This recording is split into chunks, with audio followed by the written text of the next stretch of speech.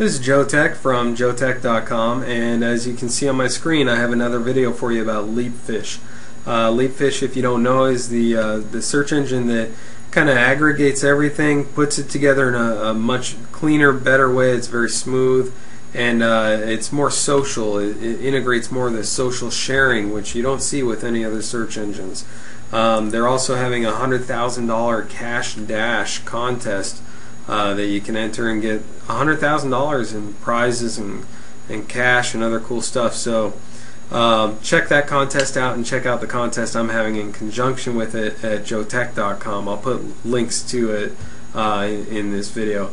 But uh, what I want to show you today is the image search. So if you click on images from the menu from leapfish.com, it automatically puts your cursor in the search bar on the image search and you can type in your search phrase and I type in puppy and it's going to pull back a bunch of Im images of puppies. Um, for each one it shows you a thumbnail. It shows you the size of the image, the dimensions.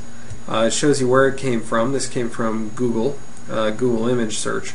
It gives you a link out to the website that it came from so you can click on that and go to the website, read about that puppy if you want.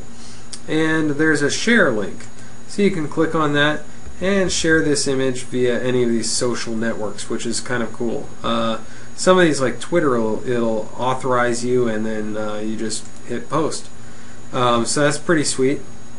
And then, of course, there's the pagination that they have throughout the whole uh, Leapfish site, so you can go forward and back. And over here, if you hover over an image, it's going to show you a preview of the image. In some cases, uh, the image is going to be huge, and this preview is just going to be, uh, you know, big enough to see what's going on in that image. See if you want to click on it. Oh, that's adorable. So, uh, in this case, I want to see. Um, let me find a larger image here.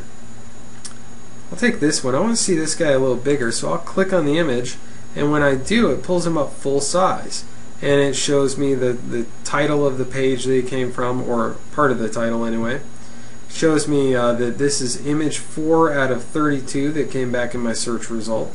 And then I can click next and it'll take me to the next puppy. This little guy's running. It'll take me next to this little guy who's winking at me. Or I can go back and see this guy running again with that little previous button. Now when I'm all done, I just click close and that's about it. Uh, the image search is is uh, pretty straightforward, easy to use. Pulls back um, images that are, you know, obviously what I'm looking for, puppies. Um, and if I want to narrow it down, it makes some suggestions for some popular searches like puppy names, puppy chow recipe, and uh, I can click on either of those to get different results.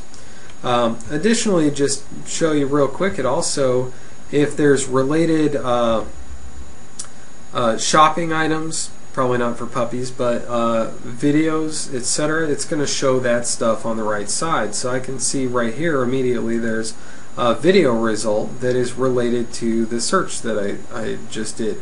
And it loads up a video from YouTube and starts playing it for me. So that's about it for image search. Go to leapfish.com, try it out for yourself. Um, go ahead and go to joetech.com and check out the Leapfish contest that I'm having that also introduces you to their contest and uh, have fun with it.